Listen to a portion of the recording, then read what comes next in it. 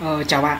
Trong ngày hôm nay chúng ta sẽ nói về cái lỗi của máy bơm tim điện OTB 5300 đây là cái lỗi mà à, thường gặp và nó phổ biến nhưng không phải ai cũng biết cách xử xử lý.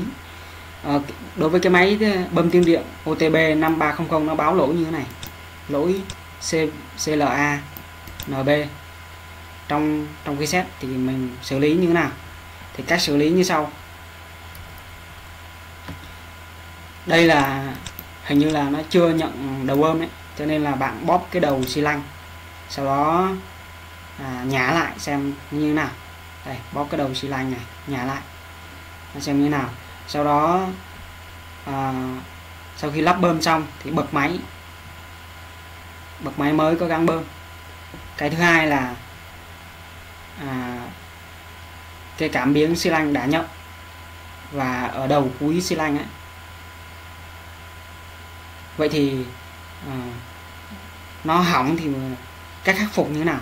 Thì chúng ta chỉ đơn giản là cái đối với cái cảm biến xi lanh này chúng ta đơn giản là chúng ta tháo ra vệ sinh lại thôi. Đấy. Vệ sinh mà nếu mà không được thì đành phải phải phải thay thôi. Nó có lỗi thì chúng ta đành phải thay thôi. Đấy, đúng không? Cái trường hợp thứ ba đó là lỗi CLA này là cái lỗi sensor không nhận đuôi seri do cần kẹp đuôi steering không ừ, không nhận. Nguyên nhân nguyên nhân đa phần là do cảm biến đuôi. Nếu không là do lỗi men bo. Đấy. nếu mà chúng ta calip calip bo qua được thì ok. Còn nếu không thì sẽ là lỗi bo lỗi bo hoặc là lỗi cáp nối đến đến đến với bo. Đấy.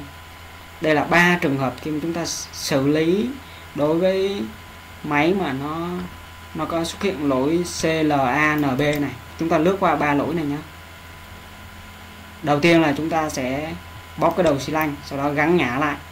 Cái trường hợp thứ hai đó là chúng ta sẽ à, cả miếng xi lanh nó nó nhợt cho nên là chúng ta à, tháo ra và vệ sinh nó vệ sinh lại. Hoặc là do lỗi sensor.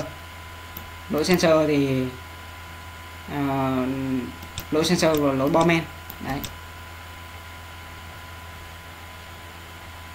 Và hẹn gặp lại bạn ở cái buổi chia sẻ à, lần tiếp theo. Các bạn có thể vào cái Twitter này đúng không? Để cập nhật để nhận được những cái bài viết những bài viết mới hoặc là những cái à, cái cái cái cái video mới những cái thông tin những cái thông tin mới. Mình thì dùng dùng Twitter à, nhiều hơn so với Facebook và và Zalo. Hẹn gặp lại bạn ở cái buổi buổi chia sẻ lần tiếp theo nhé.